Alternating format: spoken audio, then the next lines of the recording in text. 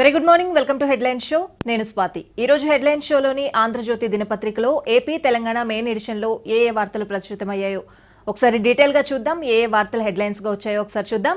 ముందుగా AP main ఎడిషన్లో ప్రధానంగా ప్రచురితమైన వార్తలు ఏంటి? బ్యానర్ ఐటమ్గా ఏ వార్తలు వచ్చాయో ఒకసారి చూద్దాం. ముందుగా ఏపీ మెయిన్ ఎడిషన్ ఈ రోజు ఏ ఏ వార్తలు ప్రధానంగా ప్రచురితమయ్యాయి అంటే నిరుద్యోగులకు చీకట్లే అని చెప్పి బ్యానర్ ఐటమ్గా ఒక వార్త చూస్తున్నాం.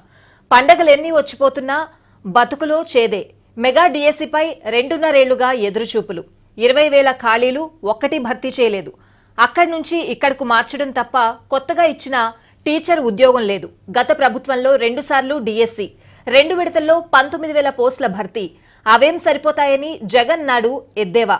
మెగా డిఎస్సి అంటూ లక్షల మందికి మోసం అని చెప్పి ప్రధానంగా ఒక వార్త అయితే చూస్తున్నాం.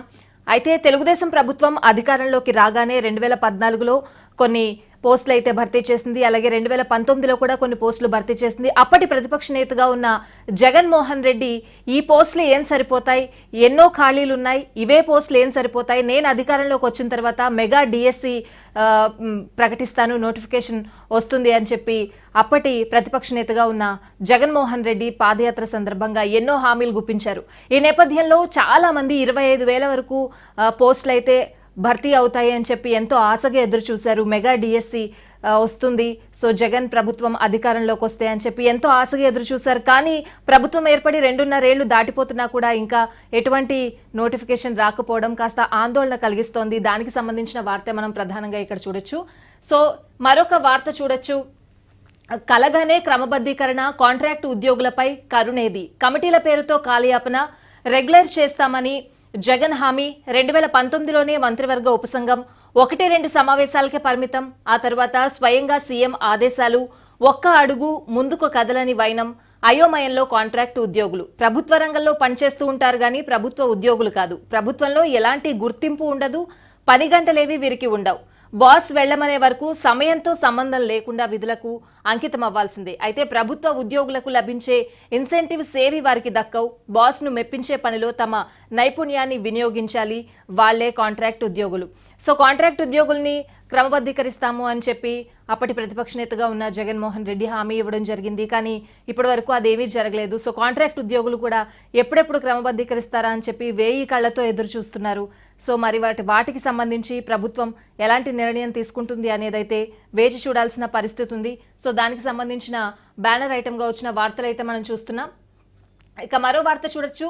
పెట్రో మంట నుంచి వాటర్ రిలీఫ్ అని చెప్పి మనం ఒక వార్త చూస్తున్నాం. బీజేపీ పాలిత రాష్ట్రాల్లో వ్యాట్ తగ్గింపు వినియోగదారులకు మరింత ఉపశమనం వంట నూనెల సెగ నుంచి ఊరట సుంకాల తగ్గింపుతో ఇరవై దాకా తగ్గుదల ఇరవై రూపాయల దాకా తగ్గుదల. మనం చూడొచ్చు దీపావళి సందర్భంగా కేంద్ర ప్రభుత్వం దేశ ప్రజలందరికీ కూడా చాలా ఊరట కలిగించే ప్రకటన అయితే చెప్పింది అని చెప్పాలి.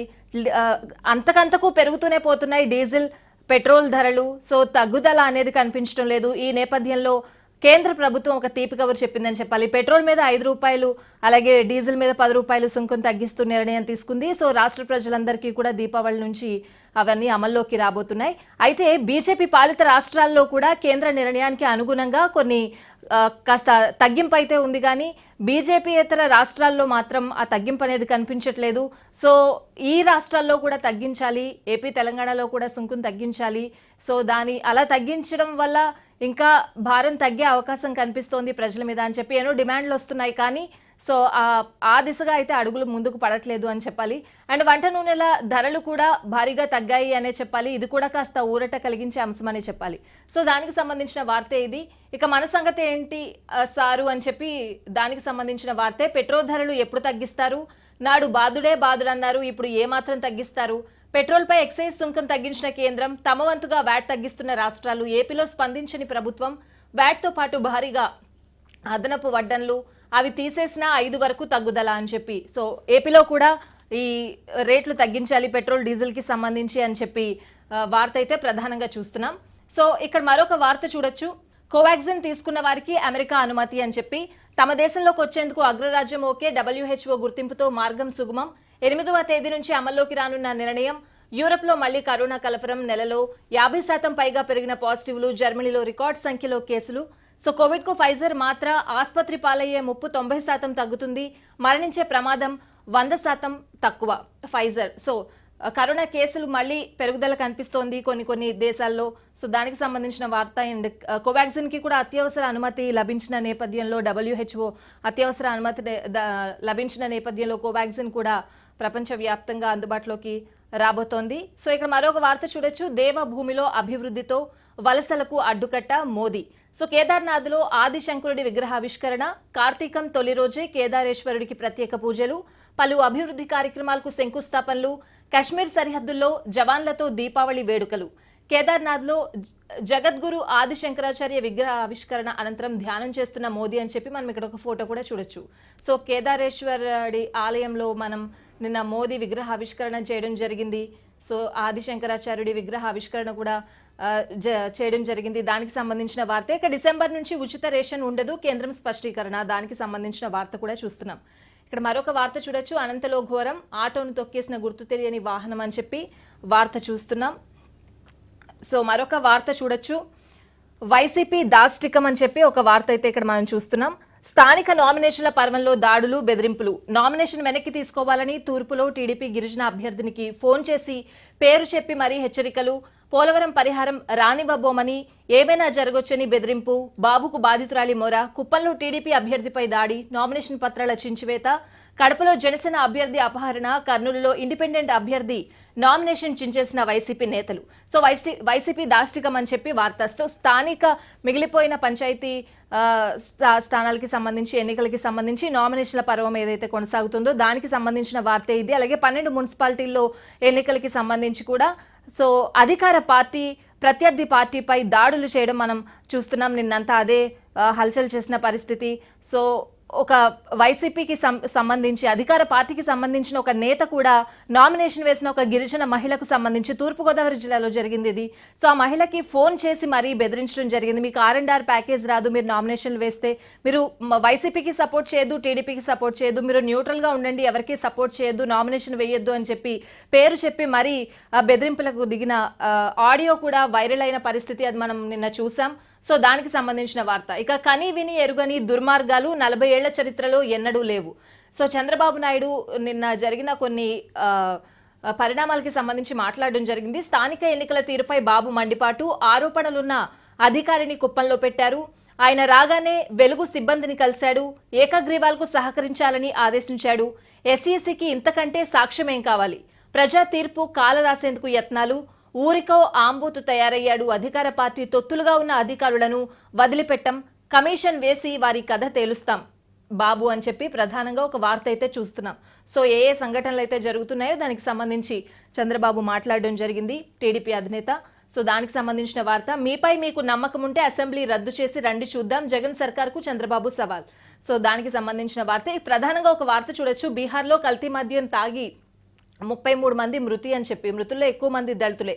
సో నిన్న పండగ సందర్భంగా కల్తీ మద్యం తాగి చాలా మంది జీవితాల్లో విషాదం నింపింది అని చెప్పాలి. ముప్పై మూడు మంది దుర్మరణం చెందారు. మృత్యు మృతి చెందిన పరిస్థితులు అయితే కనిపిస్తున్నాయి.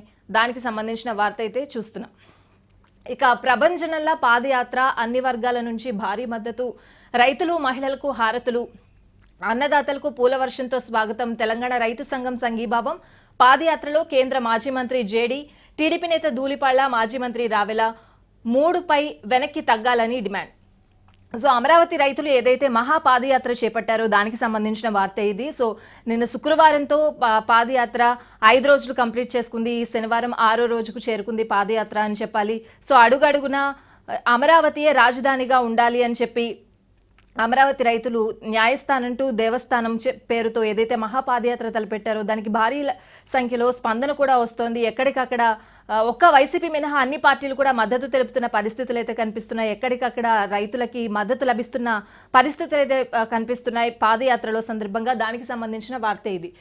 సమీర్ వాంకడే కేసులు సిట్కు ఉత్తర్వులు జారీ చేసిన ఎన్సీబీ డీజీ ముంబై జోన్ పరిధిలో మొత్తం ఆరు వాంకడేను దర్యాప్తు నుంచి తప్పించినట్లేనా? అలాంటిదేమీ లేదంటూ ఎన్సీబీ ప్రెస్ నోట్. సో ఇవి ప్రధానంగా ఆంధ్రప్రదేశ్ ఆంధ్రజ్యోతి దినపత్రికలోని ప్రధాన వార్తలైతే మెయిన్ ఎడిషన్లో ప్రధాన వార్తలైతే చూసాం. ఏ ఏవే ఏ వార్తలు హెడ్లైన్స్గా వచ్చాయి అనేది ప్రధానంగా చూసాం.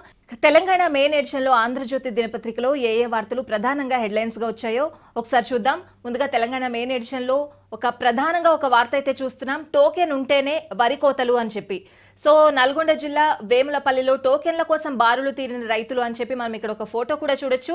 నల్గొండ జిల్లాలో కొత్త రూల్ మిల్లులకు ధాన్యం పోటెత్తడంతోనే మూడు రోజులకోసారి మండల కేంద్రంలో రెండు వందల టోకెన్ల జారీ ఒక రైతుకు ఒకటే. ఆ టోకెన్తో రెండు ఎకరాల కోత మాత్రమే. క్యూలో తోపులాట పదెకరాలుంటే కుటుంబ సభ్యులంతా క్యూ లైన్లోనే. కోతలు ఆలస్యమైతే పంట తారిపోయి తీవ్ర నష్టం పరిహారం రాక రైతు ఆత్మహత్య అని చెప్పి ప్రధానంగా ఒక వార్త అయితే చూస్తున్నాం నల్గొండ జిల్లాకు సంబంధించి.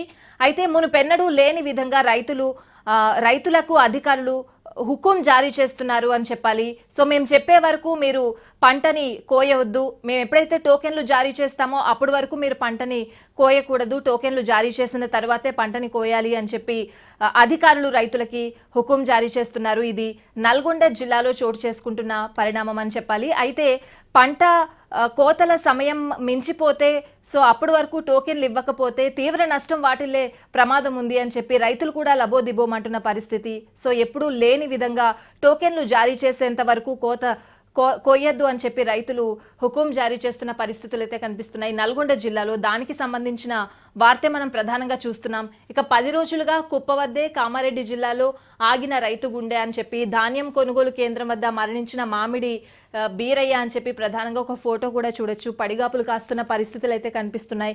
రైతులు అగమ్య గోచరంలో ఉన్నారు ప్రస్తుత పరిస్థితుల్లో అని చెప్పొచ్చు. దానికి సంబంధించిన వార్తే మనం చూస్తున్నాం. ఇక ఖాళీ గోదాం వానాకాలం యాసంగి ధాన్యంతోనే నిండుగా గోదాములు ఈ సీజన్ సేకరణ ఊపందుకుంటే నిల్వకు ఇబ్బందులే అని చెప్పి ప్రధానంగా ఒక వార్త చూస్తున్నాం. ఇప్పటికే వరి పంటకి సంబంధించి అధికార ప్రతిపక్షాల మధ్య మాటల యుద్ధం నడుస్తోంది. మరోవైపు నల్గొండ జిల్లాలో మేము టోకెన్లు జారీ చేసే వరకు టోకెన్లు వచ్చే వరకు కోతలు కొయ్యొద్దు అని చెప్పి కోతలు ఉండకూడదు అని చెప్పి అధికారులు హుకుం జారీ చేయడం ఇవన్నీ చూస్తుంటే రైతులు కాస్త ఇబ్బందులు పడే పరిస్థితులు కనిపిస్తున్నాయి. దానికి సంబంధించిన ప్రధానంగా వార్త చూస్తున్నాం. ఇక తగ్గించేదేలే అని ప్రధానంగా ఒక వార్త చూడొచ్చు. పెట్రోల్ డీజిల్ పై వ్యాట్ తగ్గింపునకు ససేమిరా అంటున్న రాష్ట్ర ప్రభుత్వం.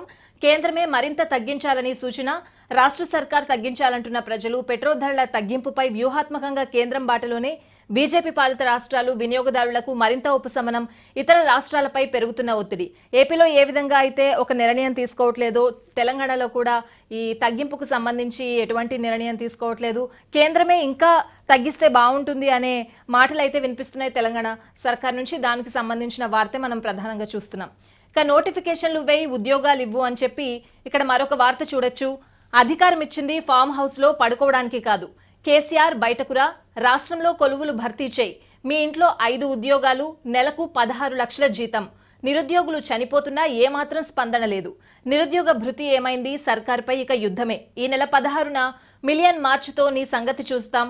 మండిపడిన బీజేపీ రాష్ట్ర అధ్యక్షుడు బండి సంజయ్ అని చెప్పి ప్రధానంగా ఇక్కడ ఒక వార్త చూడొచ్చు. నిన్న చిక్కడపల్లిలోని సెంట్రల్ లైబ్రరీని సందర్శించిన బండి సంజయ్ అక్కడ వివిధ శిక్షణ పొందుతున్న విద్యార్థులతో పోటీ పరీక్షలకు సిద్ధమవుతున్న సన్నద్ధమవుతున్న కొంతమంది విద్యార్థులతో మాట్లాడడం జరిగింది. అంతకు ముందు రాష్ట్ర బీజేపీ ఆఫీస్లో మీడియాతో మాట్లాడారు బండి సంజయ్. ఈ సందర్భంగా ప్రధానంగా ఈ వ్యాఖ్యలు చేశారు అని చెప్పాలి. సో నిరుద్యోగులు కూడా ఎవరైతే ఉన్నారో వాళ్ళందరూ కూడా తమ బాధలు చెప్పుకున్న పరిస్థితులు అయితే బండి సంజయ్తో మనం చూడాలి. సో ఉద్యోగాలు ఎప్పుడొస్తాయా అని వేయి కళ్ళతో ఎదురు చూస్తున్నాం అని చెప్పి ఉద్యోగాలు లేక రకరకాల బిజినెస్లు చేసుకుంటున్నాం. చిన్న చిన్న బిజినెస్లు అరటిపళ్ళు అండు అమ్ముకుంటున్నాం అని చెప్పి చాలామంది విద్యార్థులు ఉద్యోగాల నోటిఫికేషన్ ఎప్పుడెప్పుడు వస్తుందా అని చెప్పి ఎదురు చూస్తున్నామని చెప్పి కన్నీటి పర్యంతమైన పరిస్థితులు అయితే కనిపించాయి. పద్నాలుగు మంది వరకు విద్యార్థుల్ని బండి సంజయ్ కలిసి వాళ్ళ నుంచి కాస్త ఇన్ఫర్మేషన్ తీసుకున్న పరిస్థితులు అయితే చూస్తున్నాం. ఆ సందర్భంగా సో ఈ వ్యాఖ్యలు అయితే చేశారు బండి సంజయ్ అని చెప్పాలి. ఇక దళిత బంధుపై రగడ అని చెప్పి మరో వార్త చూస్తున్నాం. ప్రధానంగా ఒక వార్త ప్రచురితమైంది. పథకాన్ని రాష్ట్రం అంతటా అమలు చేయాల్సిందే దళిత ఘర్షణకు నేతృత్వం వహిస్తా ఈటెల. ఉప ఎన్నిక కోసమే పెట్టామనడం బరి తెగింపు అందుకే ఓటుతో గుణపాఠం బండి సంజయ్. సో హుజరాబాద్ ఉప ఎన్నికలకి ముందు దళిత బంధు ఒక హాట్ టాపిక్ అని చెప్పాలి. సో ఉప ఎన్నికలు అయిపోయాయి రిజల్ట్స్ కూడా వెలువడ్డాయి. ఈటెల రాజేందర్ ఎమ్మెల్యేగా గెలుపొందారు హుజురాబాద్ ఎమ్మెల్యేగా. అయినా కూడా ఇంకా దళిత బంధు అనేది హాట్ టాపిక్గానే ఉంది. సో రాష్ట్రం అంతా కూడా దళిత బంధుని అమలు చేయాలి అని చెప్పి ఈటెల రాజేందర్ చెప్తున్నారు. సో బీజేపీ మీ రాష్ట్రాల్లో మీరు అధికారంలో ఉన్న రాష్ట్రాల్లో ముందుగా అమలు చేయండి అని చెప్పి టీఆర్ఎస్ చెప్తోంది సో దళిత బంధు మీద మాటల యుద్ధం అయితే కొనసాగుతోంది అని చెప్పాలి. దానికి సంబంధించిన వార్తే మనం ఇక్కడ ప్రధానంగా చూస్తున్నాం. ఇక మరో వార్త చూడొచ్చు. స్థలాల క్రమబద్ధీకరణకు మరో అవకాశం. ఆదాయం దిశగా సర్కార్ అడుగులు. వివరాలు కోరుతూ కలెక్టర్లకు మేము. డేటా సేకరణలో కలెక్టర్లు నిమగ్నం. ముప్పై లక్షల ఎల్ఆర్ఎస్ దరఖాస్తుల pending.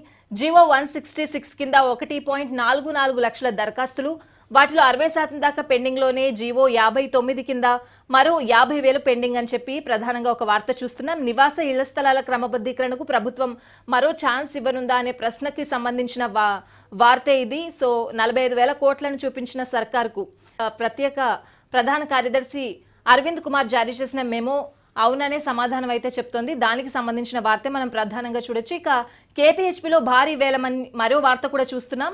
ఆ హౌసింగ్ బోర్డులో అమ్మకానికి ముప్పై మూడు ఎకరాలు పది రోజులుగా సాగుతున్న భూమి చదును నేడో రేపో నోటిఫికేషన్ ఇటీవలే ప్రభుత్వానికి భూముల బదలాయింపు బాధ్యతలు హెచ్ఎండిఏకు.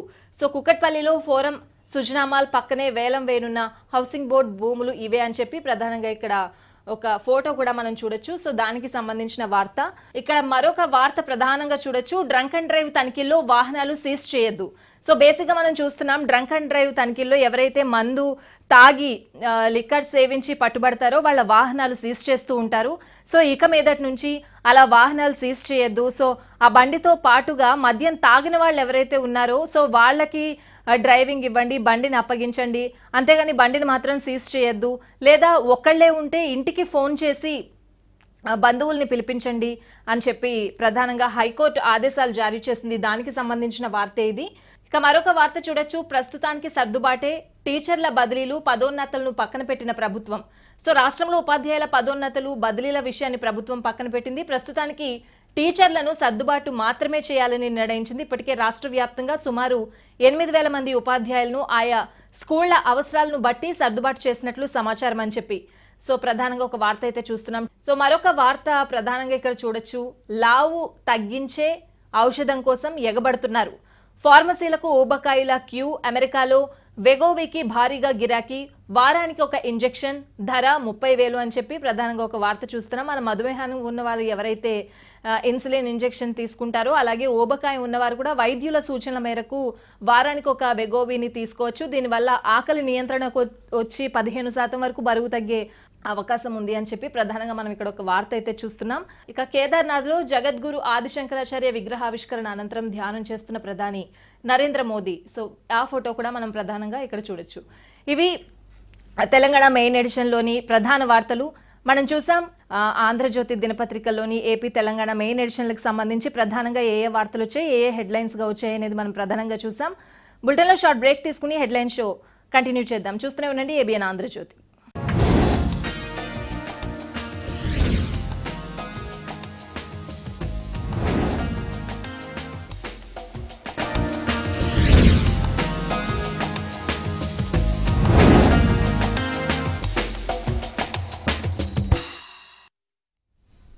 Welcome back to headline show. Andhrajyothy దినపత్రికలోని AP main ఎడిషన్కి సంబంధించి ప్రకాశం జిల్లాకు సంబంధించిన ఒక అప్డేట్ ఉంది ఒక వార్త ఉంది. దాని డీటెయిల్స్ ఒకసారి చూద్దాం. ప్రకాశం జిల్లా అర్ధవీడు మండలం కాకర కాకర్ల గ్రామంలో Veligonda project R and R package నిర్వాసితుల విషయంలో తమకు అన్యాయం జరిగింది అని చెప్పి నిర్వాసితులు రామినేని మాధవరావు అలాగే రామినేని కృష్ణకుమారి దంపతులు ఆత్మహత్య యత్నం చేశారు. సంవత్సరంన్నర నుంచి కూడా కాళ్ళు అరిగేలా అధికారుల చుట్టూ తిరుగుతున్నా తమకు న్యాయం జరగట్లేదు అని చెప్పి ఆత్మహత్య యత్నం చేశారు. ప్రస్తుతం వాళ్ళ పరిస్థితి విషమంగా ఉన్నట్లు కూడా తెలుస్తోంది. సో దంపతుల కుమారుడితో ఒకసారి మాట్లాడే ప్రయత్నం చేద్దాం. అయితే ఈ ప్రాజెక్ట్ నిర్వాసిత లబ్ధిదారుల జాబితాలో అధికారులు తమకు నష్టపరిహారం రాకుండా చేశారంటూ కూడా సూసైడ్ లేఖలో మాజీ కలెక్టర్ పోలా భాస్కర్ అలాగే జేసీ మురళి విజయ్ కుమార్ పేర్లను కూడా బాధితులు పేర్కొనడం జరిగింది. సో ఒకసారి కుమారుడితో మాట్లాడే ప్రయత్నం అయితే చేద్దాం. వెలుగొండ ప్రాజెక్ట్ నిర్వాసితుల ఆర్ అండ్ ఆర్ ప్యాకేజ్ విషయంలో కాస్త అన్యాయం జరిగిందంటూ కూడా ఈ కంబం ఏఎస్డీ కార్యాలయం ఎదుట పురుగుల మందు తాగి ఆత్మహత్యాత్నం అయితే చేసిన పరిస్థితి కనిపిస్తోంది. అయితే ఇద్దరి పరిస్థితి కూడా కాస్త విషమంగా ఉన్నట్లు తెలుస్తోంది. సో ఏంటి పరిస్థితి ఏంటి? ఒకసారి మాట్లాడి తెలుసుకుందాం. వాళ్ళ కుమారుడు కుమార్ రాజు ఒకసారి ఫోన్ చేద్దాం మాట్లాడి తెలుసుకుందాం. రైట్ ఫోన్ అయితే కనెక్ట్ కావట్లేదు మా రిపోర్టర్తో ఒకసారి మాట్లాడదాం. మాట్లాడి ఒకసారి పరిస్థితి ఏంటో అడిగి తెలుసుకుందాం. నమస్కార్.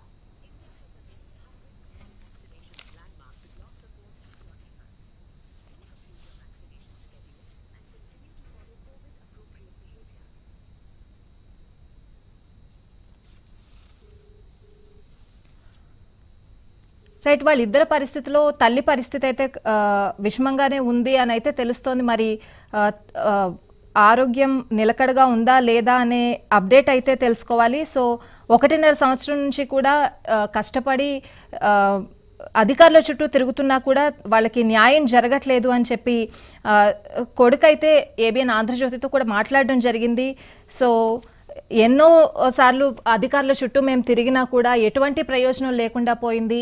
పక్క వాళ్ళకి వస్తున్నా కూడా మాకెందుకు రావట్లేదు అనే రీతిలో కూడా ఆయన మాట్లాడడం జరిగింది. మా రిపోర్టర్తో మాట్లాడదాం. సురేష్ ఒంగోలు నుంచి. Suresh good morning Suresh. Good morning so Veligonda project నిర్వాసితుల విషయంలో కాస్త ఆర్ అండ్ ఆర్ ప్యాకేజ్ విషయంలో అన్యాయం జరిగింది అని చెప్పి మనం ఒక వార్త అయితే నిన్న చూసాము. సో వాళ్ళ పరిస్థితి ఎలా ఉంది? దంపతుల పరిస్థితి ఎలా ఉంది? ఏంటి అసలు?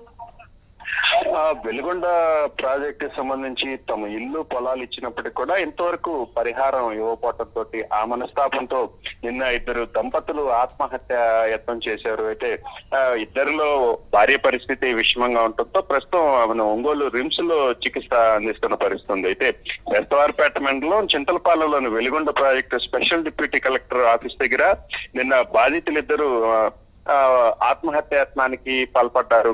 కొన్ని సంవత్సరాలుగా ఈ ప్యాకేజీ సంబంధించి ఏదైతే తమకు రావాల్సిన అమౌంట్ ఉందో దానికోసం ఎన్నో సంవత్సరాల నుంచి ఎదురు చూస్తున్నప్పటికీ ఇంతవరకు వారికి పరిహారం అందుకోలేదు. అయితే రెండు వేల నాలుగు ఐదు ఈ ముంపు బాధితుల గెజిట్లో అర్ధవేడు మండలం కాకర పంచాయతీలో ఉండే సాయిరాం నగర్కి చెందిన రామనేని మాధవరావు అదేవిధంగా ఆ, కృష్ణకుమారి దంపతులతో పాటు వారి కొడుకులు కుమార్ రాజా రాకేష్ టు కూడా వారికి గెజిట్లో వారికి పరిహారం చెల్లించాల్సిందిగా నోటిఫికేషన్ ఉంది. అయితే రెండు వేల పద్నాలుగులో వాళ్ళిద్దరికి మినహాయించి మిగతా వారందరినీ ఆ గెజిట్లో తొలగించడం జరిగింది. అయితే అప్పటి నుంచి అప్పటి ఆ, కలెక్టర్ పోలా భాస్కర్ ఎవరైతే ఉన్నారో అప్పటి నుంచి ఆయన్ని సంప్రదించడం ఆ గెజిట్ నోటిఫికేషన్లో తమ తాజాగా మిగతా ఎవరైతే రెండు వేల నాలుగు ఐదులో నమోదయ్యి పద్నాలుగులో మిస్ అయిన వాళ్ళ పేర్లు కూడా ఎన్రోల్ చేయాలని చెప్పి అప్పటి నుంచి కార్యాలయం చుట్టూ తిరుగుతున్నప్పటికీ కూడా ఎటువంటి ఫలితం ఆ, లేదు. దాదాపు దాంతో ఆ గెజిట్లో చేర్చిన దంపతులకు దాదాపు పది ఎకరాలకు సంబంధించిన అసైన్ భూమి ఉంది. దానికి సంబంధించి ముప్పై లక్షల రూపాయల వరకు ఈ దీనికి సంబంధించి ఆర్ అండ్ ఆర్ ప్యాకేజ్ కింద రావాల్సిన పరిస్థితి ఉంది. అయితే అప్పటి నుంచి కూడా ఎంత ప్రయత్నం చేస్తున్నప్పటికీ అధికారుల నుంచి స్పందన లేకపోవడంతో నిన్న వారు ఆ కార్యాలయం దగ్గర ఆత్మహత్య యత్నానికి పాల్పడ్డారు.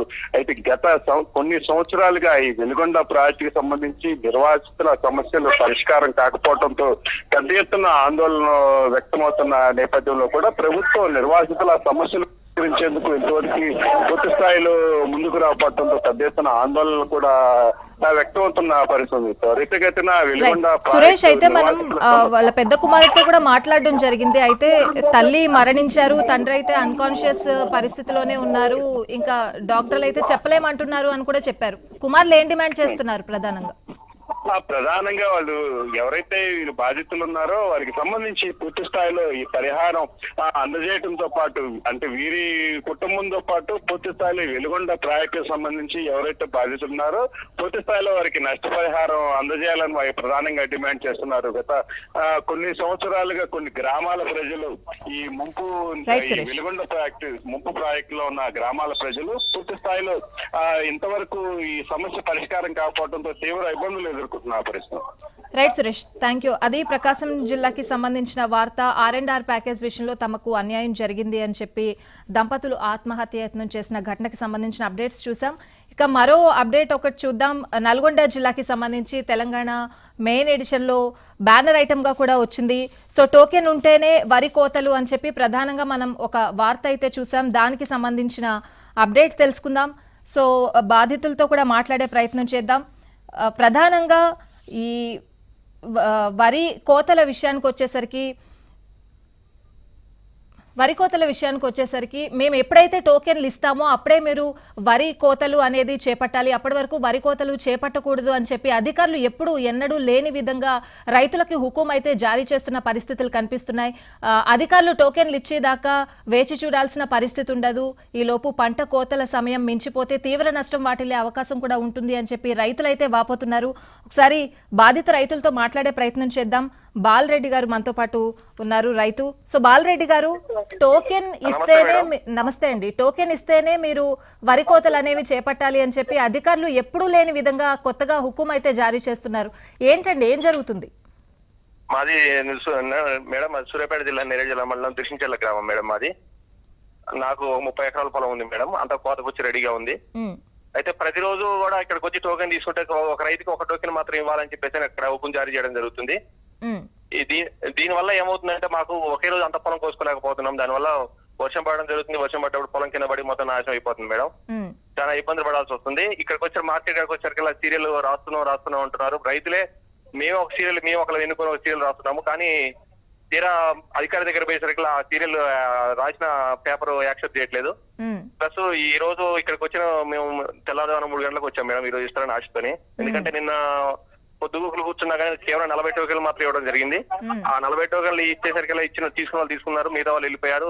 తీరా మేము రోడ్ ఎక్కి ధర్నా చేసి చేసినప్పుడు రేపు ఇస్తామని చెప్పారు కానీ అటు ఇంతవరకు ఎటువంటి మాకు ఇన్ఫర్మేషన్ లేదు. సరే ఇక్కడికి వచ్చి చూసేసరికి మేము తెల్లవారుజాము మూడు గంటలకు వచ్చి కూర్చున్నాము. ఇక్కడికి వచ్చి చూస్తే అధికారు ఈ రోజు సాయంత్రం ఈ రోజు అసలు ఇవ్వమని చెప్తున్నారు. మళ్ళా మండే రోజు అని చెప్తున్నారు. సోమవారం రోజు చెప్తున్నారు. కానీ మాకు అక్కడ పంట రెడీగా వచ్చి రెడీగా ఉంది మేడం. కోసుకోవడానికి ఎటువంటి ఆ ఇబ్బందికరంగా ఉంది. తీరా మేము చిల్లపల్లి చెక్ పోస్ట్ దగ్గర పోయేసరికల్లా అక్కడ పోలీసులు ఏం పోనీయట్లేదు. అయితే బాలరెడ్డి గారు మీరు అధికారులని ఏం డిమాండ్ చేస్తున్నారండి? మేడం ఖచ్చితంగా మేము కోసుకొచ్చిన పంటకి అక్కడ ఎక్కడైతే చెక్ పోస్ట్ దగ్గర ఆపుతున్నారో అక్కడే టోకెన్లు ఇచ్చి పంపిస్తే మేము బయటికి వెళ్ళగలుగుతాం మేము అక్కడ మిల్లో అమ్ముకోగలుగుతాం మేడం.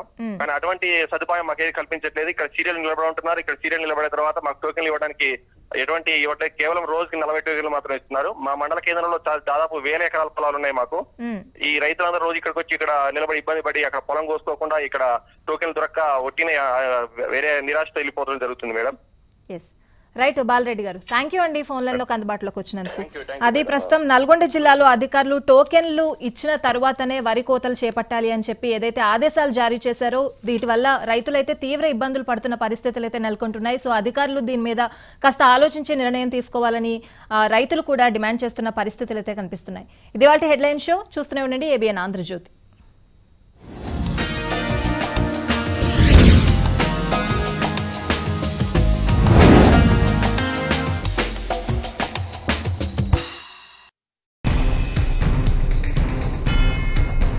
Trouble starts